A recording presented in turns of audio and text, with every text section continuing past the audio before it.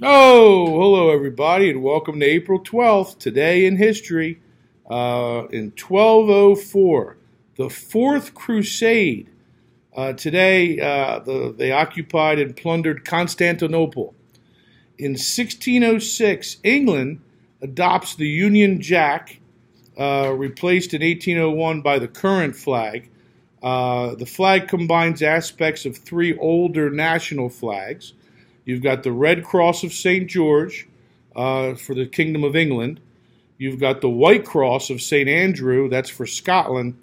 And then the Red Cross of St. Patrick represents Ireland. So that's what the Union Jack, uh, that's what they, that's what all that stuff means on that flag.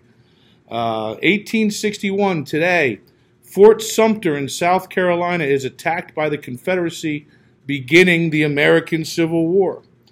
In 1900, the U.S. Congress passes the Foraker Act. This establishes Puerto Rico as an unincorporated territory. In 1961, Russian cosmonaut Yuri Gagarin uh, becomes the first person to orbit the Earth. In 1981, we have the maiden voyage of the Space Transit System, which we affectionately always called the Space Shuttle. It was the Space Shuttle Columbia, launched today. And in 1992, Euro Disney, or Disneyland Paris, opens in Marne-la-Vallée, France. Born today, 1831, Grenville M. Dodge, American railroad engineer responsible for the Transcontinental Railroad and the Union Pacific Railroad. He was also a major general in the Union Army during the Civil War.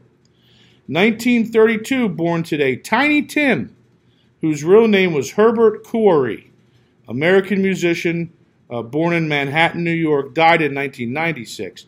Tiptoe Through the Tulips, that was his thing, with his ukulele. Remember Tiny Tim?